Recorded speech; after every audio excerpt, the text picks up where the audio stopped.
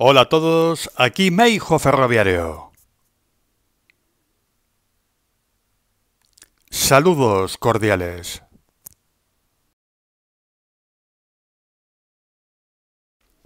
Bienvenidos todos al mítico ferrocarril Ruta de la Plata. La mítica línea Palazuelo-Empalme-Astorga. Seguimos nuestro viaje. Y en el episodio segundo, nuestro tren imaginario tiene un retraso en la estación de Palazuelo en Palme.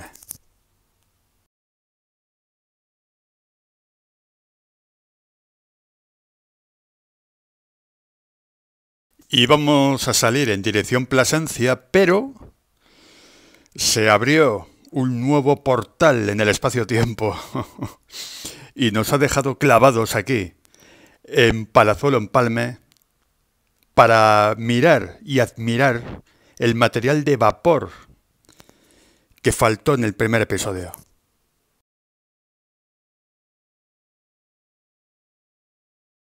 Palazuelo Empalme fue un gigantesco poblado ferroviario, pero sin embargo no tuvo depósito de locomotoras, pero sí reserva. Una reserva era como una especie de depósito secundario donde se abastecían las locomotoras de vapor de carbón, de agua, de fuel y donde se hacían pequeñas tareas de mantenimiento y cambios de tracción. Pero aún así, Palazuelo era muy interesante en la época del vapor.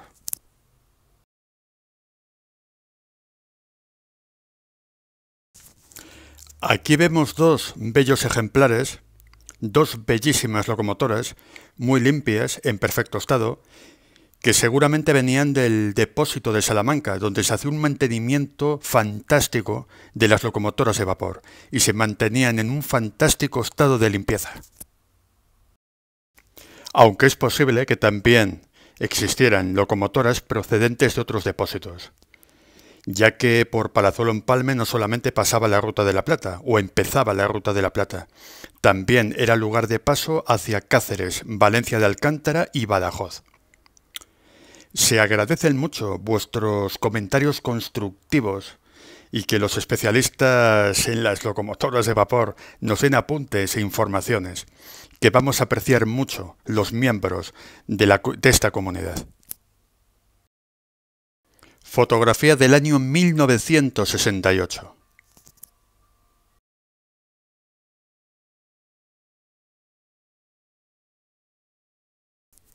Y damos un salto a septiembre de 1965.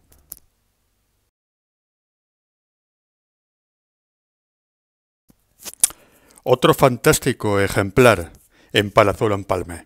Las locomotoras más habituales en la Ruta de la Plata, en vapor, eran sobre todo las antiguas Miles del Oeste y las locomotoras de tipo Mikado. Las Miles eh, del Oeste porque, como la misma palabra dice, venían de la antigua Compañía Nacional de Ferrocarriles del Oeste de España y estaban bien adaptadas a ese tipo de línea.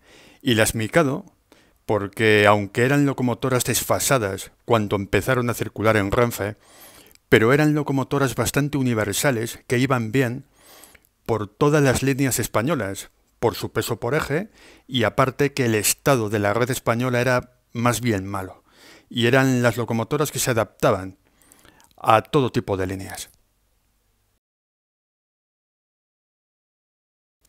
Año 1965. Aquí podemos ver un tren con coches de madera, eh, que si no me equivoco fueron retirados en el año 1968, que fue cuando Renfe eliminó la tercera clase y los coches que tenían caja de madera. Los coches de viajeros de madera fueron sustituidos prácticamente en su totalidad por coches de la serie 5000, de bogies, metálicos, los que vimos en el primer episodio Además porque eran coches de bajo peso por eje y se adaptaban muy bien a estas líneas de carril embridado y con un traqueteo constante.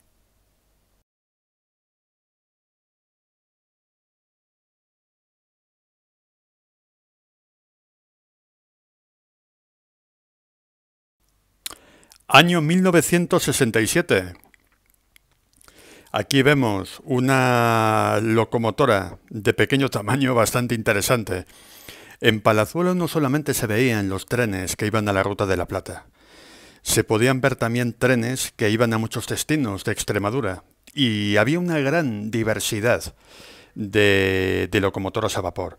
Aunque algunas de estas máquinas que vemos en estas fotos no circularon por la Ruta de la Plata, ya que estamos en Palazuelo, es, está muy bien admirar este tipo de máquinas.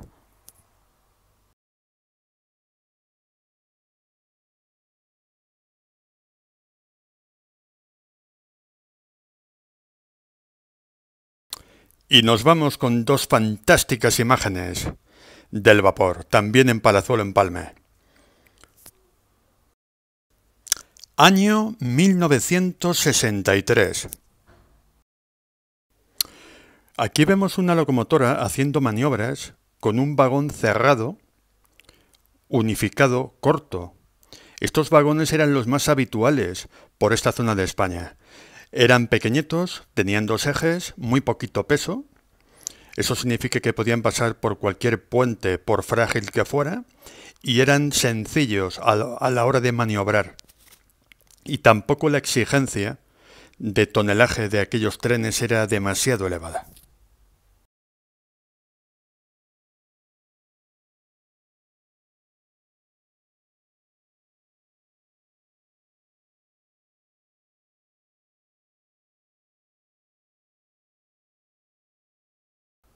En el año 63, la gran mayoría de las locomotoras todavía eran de carbón. Luego muchas de ellas serían fuelizadas con el tiempo para ahorrar en combustible y hacer más económica su explotación. Los trenes de mercancías en esa época solían ser de tipo colector. Solían ir las locomotoras de estación en estación recogiendo los vagones que había en los muelles de carga, que sobre todo eran de productos agropecuarios.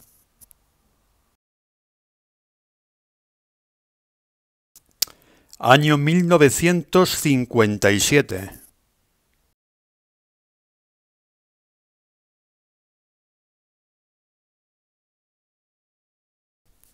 La última imagen de Palazuelo. Próximamente habrá monográficos de material de vapor.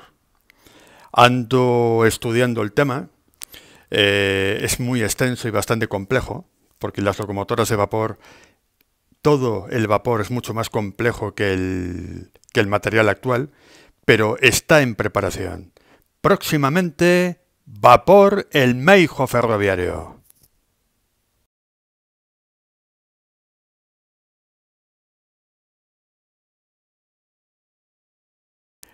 Y de la máquina del tiempo nos vamos al limbo, porque nos vamos a un lugar que no existe, desgraciadamente. Se, trata de Fuente Dueñas. Entre Palazuelo en Palma y Plasencia existió, mm, no lo tengo muy claro, si una estación o un apeadero, pero la cuestión es que ya no existe. Solamente quedan algunos restos de lo que fue Fuente Dueñas, desgraciadamente. Eh, bueno, si, si alguien tiene alguna documentación, pues sería muy bien agradecida. Y nuestro tren imaginario ya va de camino a Plasencia. ¡Vamos! ¡Que nos vamos!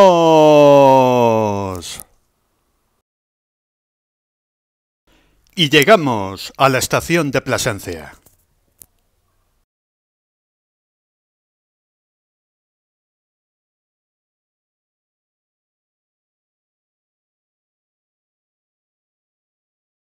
Hijo ferroviario se perdió por allí en el año 2007 con unos colegas suyos.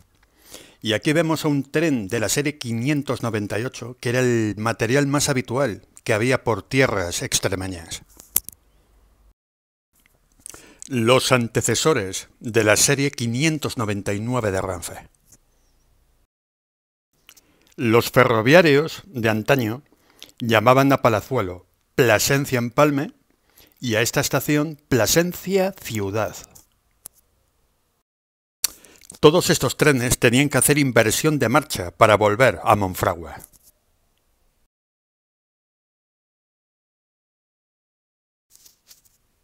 Aquí vemos la salida hacia Monfragüe, lo que fue Palazuelo en Palme. En aquella época las instalaciones estaban bastante bien, por lo general. Buen estado de las vías, de los andenes también, de los aparatos de vía, desvíos, etc. La señalización también. Actualmente Plasencia está siendo electrificado y próximamente, cuando finalice el verano, porque las temperaturas que hay en la mitad sur de España son muy grandes, seguramente después del verano haré un treneando por Extremadura y por supuesto también por Andalucía, que muchos me preguntáis que cuándo voy al sur. Pues iré al sur cuando pasen los calores. Pero está en proyecto.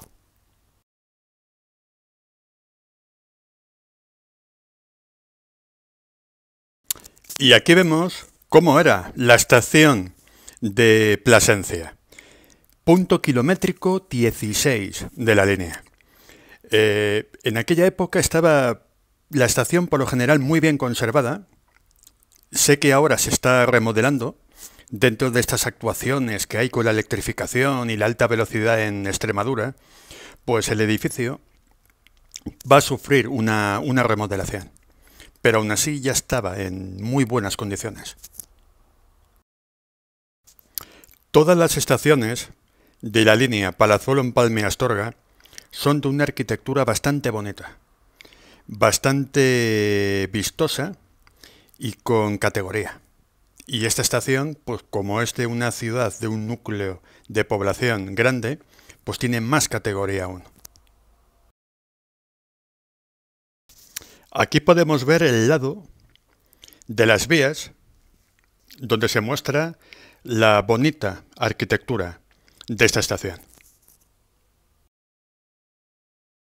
Cuando la ruta de la Plata estaba abierta, la actividad se concentraba sobre todo en Palazuelo en Palme o Plasencia en Palme, más que aquí, en Plasencia ciudad, que era más bien un lugar de paso y donde se montaban bastantes viajeros. En aquel año 2007 había pocos trenes. Si ya eran pocos los que circulaban por Palazuelo, o Monfragüe, mejor dicho, por esta zona de Plasencia pues eran poquitos. No sé si había tres trenes al día o, o incluso menos. Aparte de las series 594 y 598, mm, ya no me acuerdo si circulaba por allí algún talgo de vez en cuando.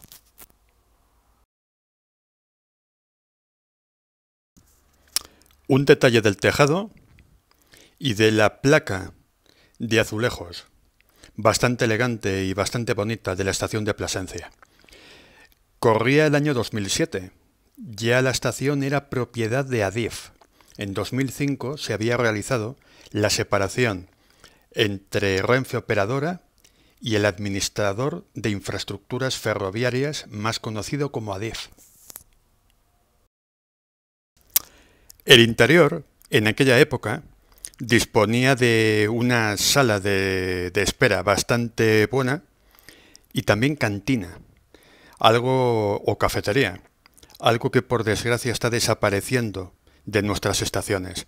Cada vez es más difícil encontrar una cafetería abierta en una estación. ¿Por qué será? Los precios altos que pone Adif por el alquiler o porque los viajeros ya se mueven a toda prisa en las estaciones y ya no quieren tomar nada en las cafeterías. Bueno, ahí lo dejo. Y el detalle de una de las casetas aledañas a la estación. Teja roja, mm, la fachada pintada de color claro y los azulejos. Se nota que estamos en Extremadura, en el sur de España.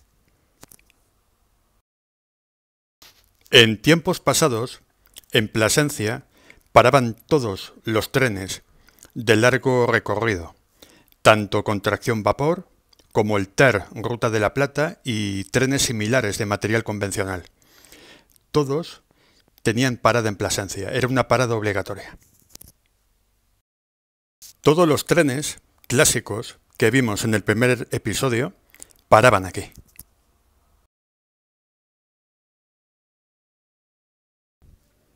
Y la fachada de vías, que aquí la vemos con más detalle, con la interesante cubierta que tiene. Una estación ideal para reproducir el maqueta, por su tamaño, por el plano de vías y por la sencillez y belleza del conjunto. De hecho, en las redes sociales creo que he visto por ahí fotos de algunos modelistas que han construido en maqueta esta estación y es una preciosidad. La verdad es que es una estación que merece la pena ser reproducida. Próximamente vídeos de maquetas, que no se me han olvidado. Eh, al tiempo. También llama la atención esta marquesina, pequeña marquesina o cubierta, que, que la hace aún más interesante a esta estación.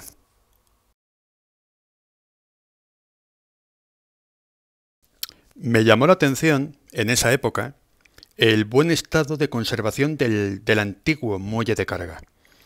Eh, por desgracia, los aficionados hemos visto muy a menudo el mal estado de la mayoría de las antiguas zonas de carga del ferrocarril español. Pero en este caso y en esa época estaba bastante bien conservado el muelle y espero que siga estando bien. A lo largo de, de esta línea, de este viaje, vamos a ver muchos muelles de carga y muy interesantes. ya que los principales tráficos de mercancías se centraban en estos muelles precisamente.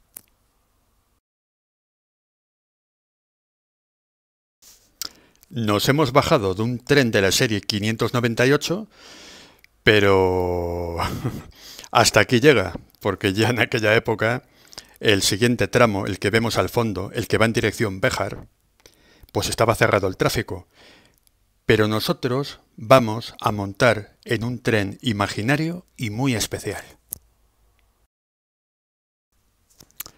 Próxima estación, Oliva Almendral.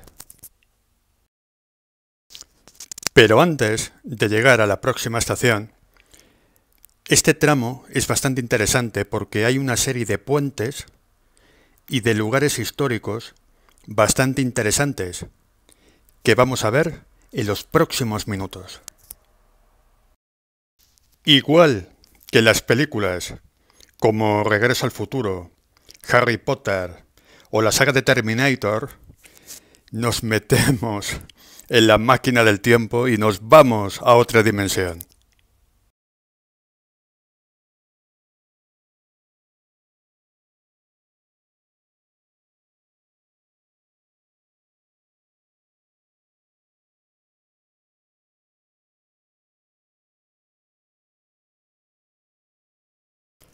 Pues damos un salto en el tiempo y nos damos la vuelta para ver cómo era la estación de Plasencia pues hace unos 50 años aproximadamente.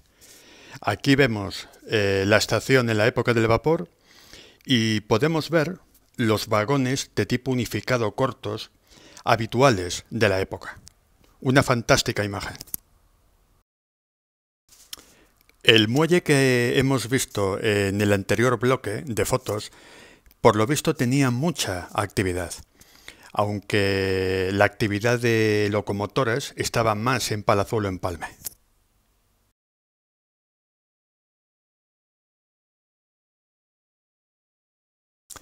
Y nos vamos al año 1956, donde podemos ver a una mil del oeste, que eran las locomotoras más habituales en la ruta de la Plata. En la época del vapor, con, con permiso del asmicado, por supuesto.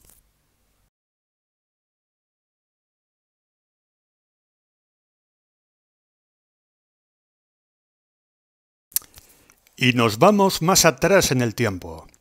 Nos vamos a una postal donde se puede ver una locomotora de vapor y al fondo la ciudad de Plasancia. Una postal que puede ser me imagino que alrededor de, los, de la década de los años 20 del siglo pasado.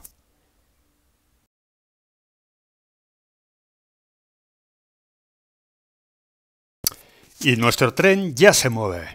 Salimos de Plasencia y pasamos por el primer viaducto, que está pues a poca distancia de la estación de Plasencia. El tren tiene pinta de ser un ómnibus de la época del vapor.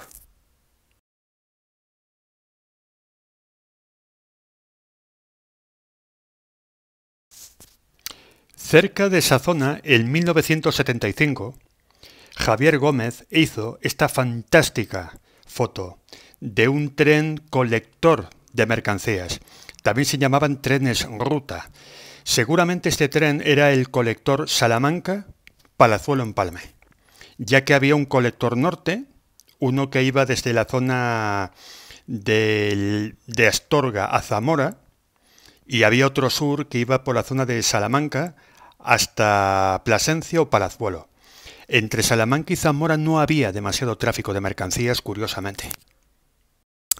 Desde la desaparición del vapor, las locomotoras de la serie 318, 321 y 333 y a veces también las Yayés de la serie 308 realizaban los trenes de mercancías.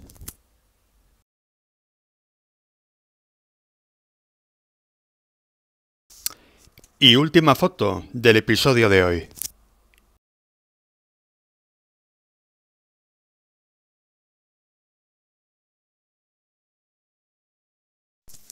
Unos pocos kilómetros más allá del viaducto que hemos visto antes se encuentra este otro, el viaducto sobre el río Jerte. Un viaducto que sustituyó al original que era de hierro. Esta foto nos dice mucho sobre la Ruta de la Plata.